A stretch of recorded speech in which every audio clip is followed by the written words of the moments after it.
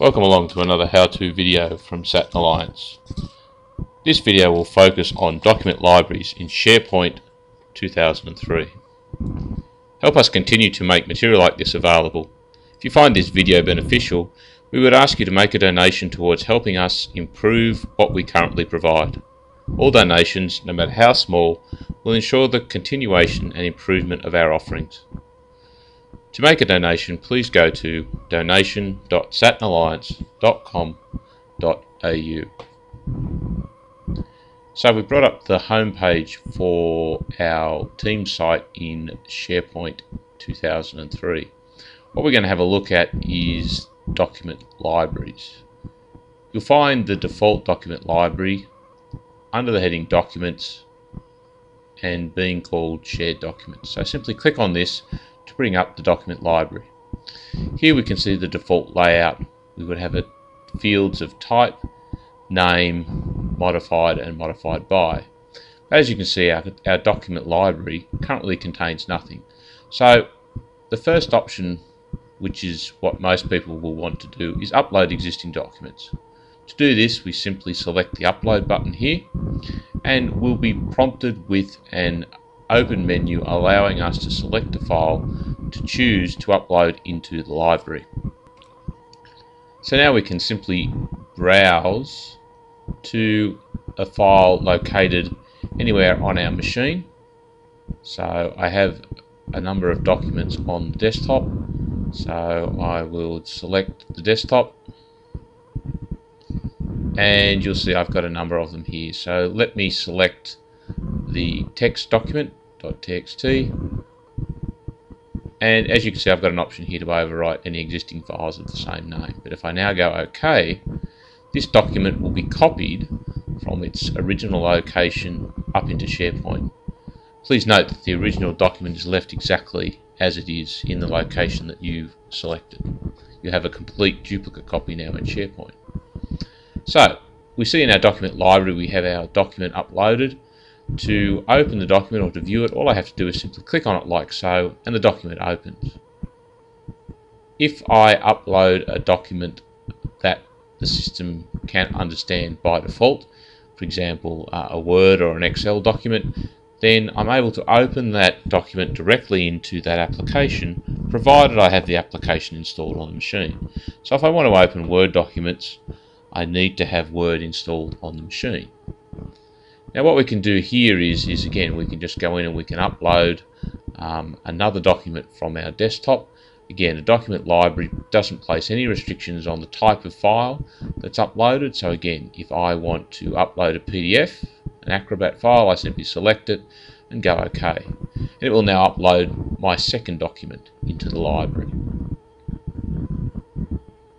Again, there may be a number of additional options under the menus here. Again, selecting the small pull down arrow to the right allows you to display the full option for the menus. So what I'll do here now is I'll upload another document. Uh, it's a Word document.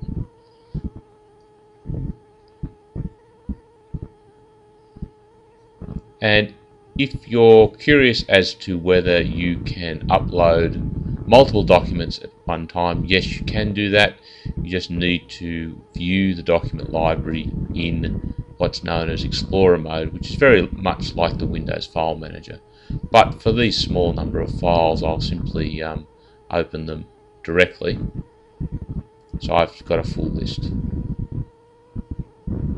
So now you can see that we've got four files in total we've got when they were modified and who modified them.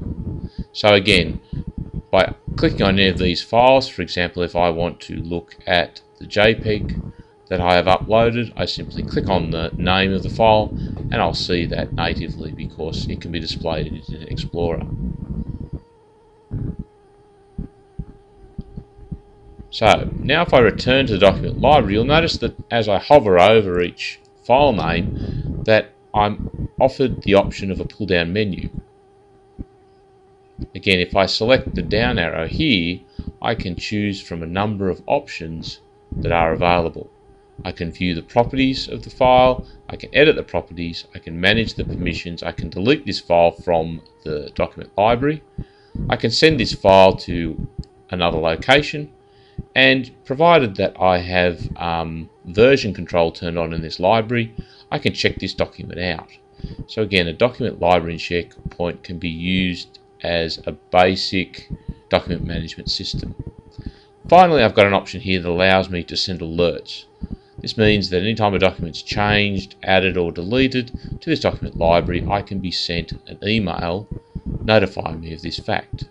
So if I go into here and select edit the properties, this basically will allow me to enter more information about the file in my library which is important because if I want to take full advantage of the SharePoint facility of searching, then I need to put in as much information as I can. So if I put in here our business logo and go OK, this adds the information to that entry.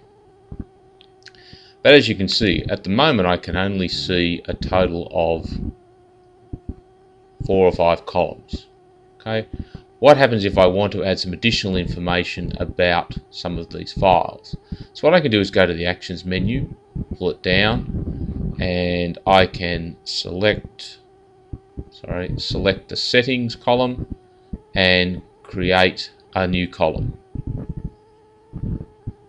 So what I'm going to do here is I'm going to add a column to the information about each file which is going to make it easier to sort and catalog my my files. So what I'll do here is I'll put in a field denoting which customer say this came from. This field is going to be a single line of text as you can see. Um, our customer name. I'm going to restrict it to a total of 25 characters and I'll select OK. I've got the option here selected to add to the default view. So it now should appear in the document, standard document library presentation. I click OK, and as you can see now, I have an additional field called customer. So if I want to make a change to the information about the file, if it's already in the library, I'm going to have to go in and edit the properties and enter information that I want about the customer. So for this customer, we'll make it from Sat Alliance and select OK. From the second file here, I'll select to edit the properties again. And for example, what I'll do is I will make this from Microsoft, say and again select OK to save that information. Now the information that you're adding here, the fields that you've added are unique to SharePoint. What's the big advantage of doing this? Well, firstly what I can do is I can choose to sort by any field in SharePoint simply by pulling the down arrow that's next to the field and selecting right what option that I want. So what I want to do is firstly let me resort these from a to Z. So SharePoint will now automatically redisplay these. That makes it much easier to locate the file and I can do this on any field. So again if I want to revert it so it goes to the names and I want it to be descending I simply pull down the field next to the name field and select descending and SharePoint will redisplay for me. But even more powerful than this is I can actually filter the information that I want. So say I only want to see files who have a customer field that refers to Saturn Alliance. If I now select this, I'm now filtered all my information so I only see the single file which has been displayed. This has been very handy when you have lots and lots of files and rather than sorting through them you can apply a filter to only see the, the files that are most relevant to your search. This has been a basic introduction to document libraries in SharePoint 2003 from Saturn Alliance. If you have any questions, please contact me via robert at saturnalliance.com.au. Thank you.